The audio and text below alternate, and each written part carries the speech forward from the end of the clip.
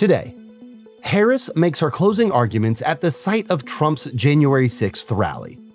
Torrential rains caused deadly flash floods in Spain.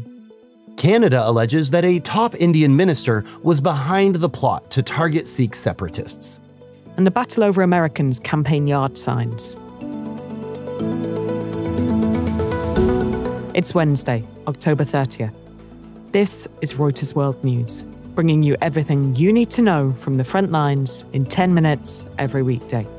I'm Tara Oakes in Liverpool. And I'm Christopher Walljasper in Chicago.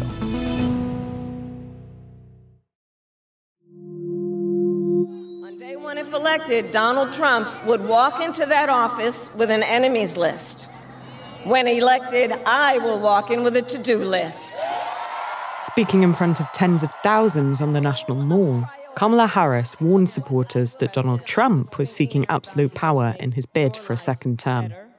This is someone who is unstable, obsessed with revenge, consumed with grievance, and out for unchecked power.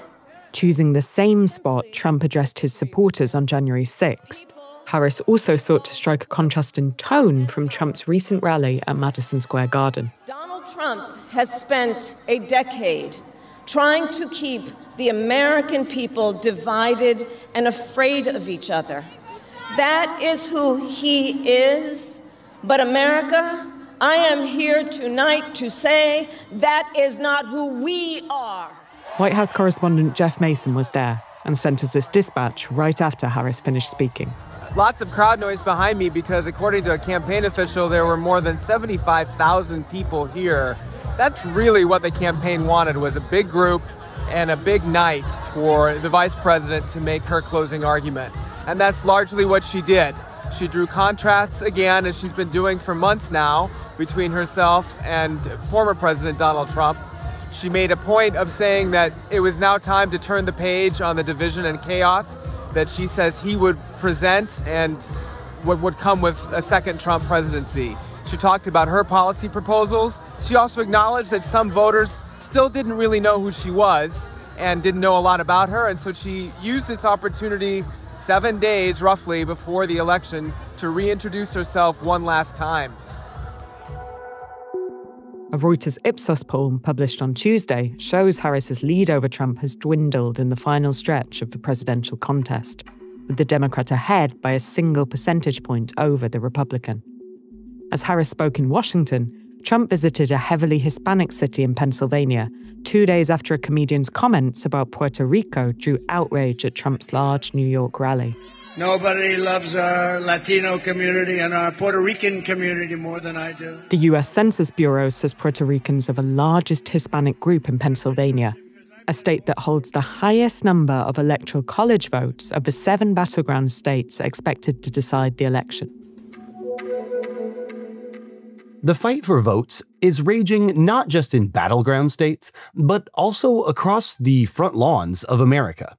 Many voters have recently reported their campaign lawn signs being stolen, and they're going to great lengths to fight back.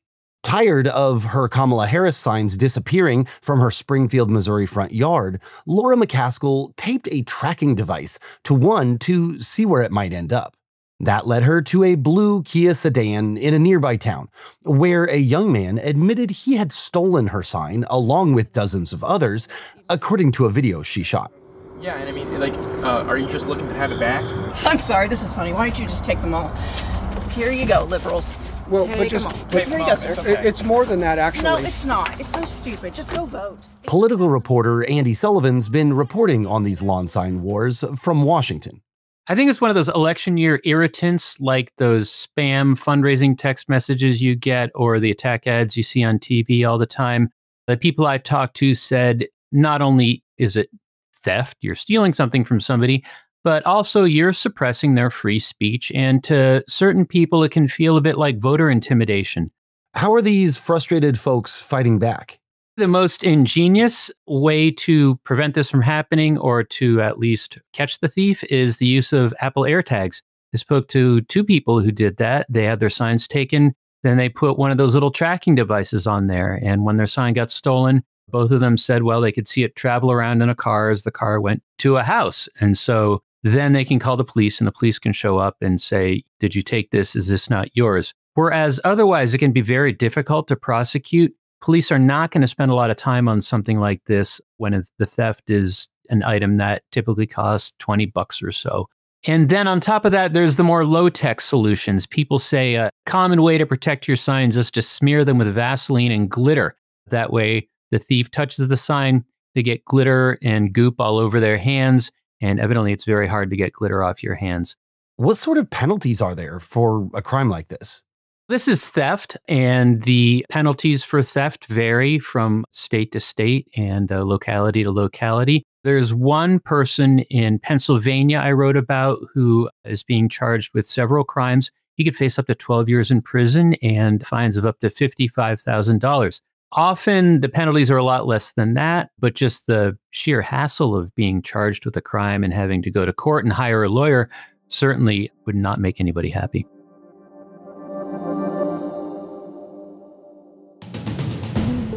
The US Supreme Court has denied a bid by Robert F. Kennedy Jr. to be removed from the ballot in Wisconsin and Michigan in the presidential race. Kennedy has since dropped out of the race and endorsed Trump. Steve Bannon has been released from prison. The longtime Trump ally had been serving a four month sentence for contempt of Congress. In 2022, Bannon was convicted for defying a subpoena from the House committee investigating the January 6th attack.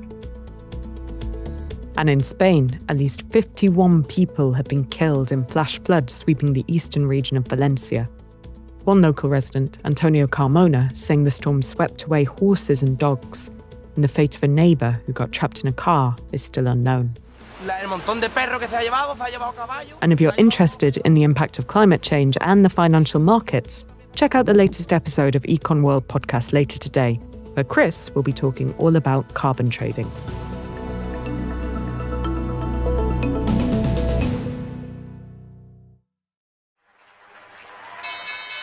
Chinese and Hong Kong stocks dipped on Wednesday, with investors cautious ahead of the US election, while also awaiting top leadership meetings next week that could reveal fiscal stimulus details. China is considering approving the issuance of over 10 trillion yuan, that's 1.4 trillion US dollars, next week in extra debt over the next few years to revive its fragile economy. The fiscal package is expected to be further bolstered if Donald Trump wins the US election. The European Union's decision to significantly increase tariffs on Chinese built electric vehicles also weighed on sentiment and dragged down EV stocks. Canada says India's Minister of Home Affairs, Amit Shah, is behind the plots to target Sikh separatists in Canada. It's the latest accusation in a ratcheting up of diplomatic tensions between the two nations, dating back to the 2023 murder of Sikh separatist leader Hardeep Singh Nijjar on Canadian soil. Our political reporter in New Delhi, Krishn Kaushik, is here to explain how this new accusation could impact already tense relations. So, Krishn, uh, tell me about Amit Shah. So, Amit Shah, in a nutshell, is the second most powerful politician in India after Prime Minister Narendra Modi. Amit Shah has been Modi's closest political ally for the last 25 years at least, since when both Amit Shah and Modi have been in electoral politics. The two go back to their days when they were governing the state of Gujarat, and they have been together since. As the country's home minister, he heads over all internal security issues. That includes the federal police, that includes some of the intelligence agencies as well. So he has immense state authority and state power as well at his disposal. So, how is India reacting to this accusation? The reaction has been quite muted till now. We have reached out to Amit Shah's office and there has not been any reaction. So, I think for now, India is studying what to say, but the accusation is definitely huge because this is as close as Canada can link the targeted attacks on Sikh dissidents on its soil to Prime Minister Modi almost directly because he is the most powerful person after Modi. How could this affect already tense relations between India and Canada? So, of course, the saga has been going on for over a year, and India has denied all these allegations. But the tensions have been going up through this entire process. And after both sides expelled each other's diplomats over the last few weeks, it was kind of a stalemate that both sides were now waiting if the other side will take any action. But now, after Canada has taken Amit Shah, it is expected that there will be some political or diplomatic reaction from India.